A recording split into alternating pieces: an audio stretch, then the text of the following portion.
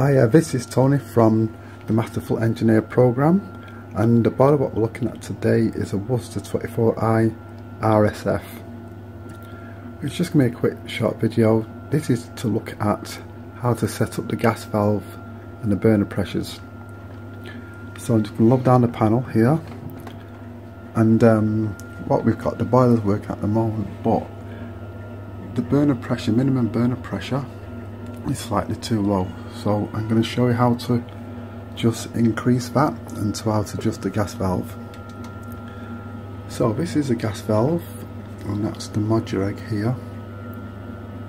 Now the burner pressure on a minimum what I've done to get to minimum I've took off the lead. Off one of the Modureg off the Modureg. So took, I've took the lead off there. I'll show the, the burner pressure reading now. It's just 0.4 so we're going to increase that up to about 1.6 so I'm going to take a screwdriver here and then adjust that.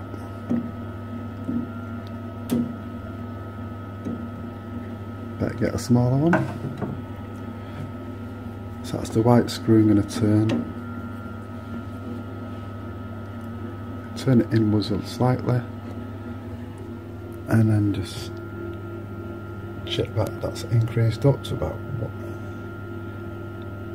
Yeah so that's about fine. So that's how you check the minimum burner pressure.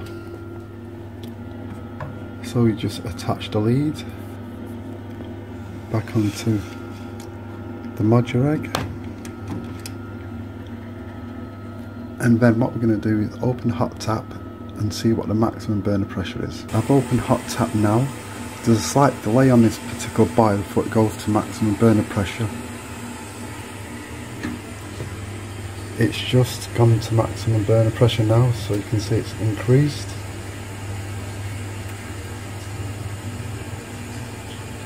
So we're getting about 12 millibar. You can see it's modulating down the maximum is around about 13 so it's not far off. It's modulating down because the hot water is getting hotter so that's correct.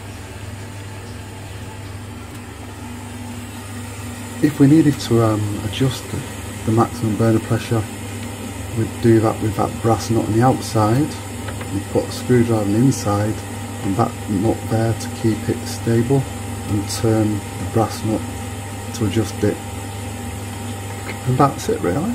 So that's just a simple video.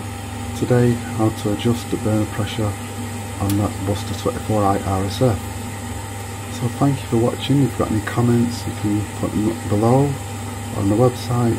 So thank you for watching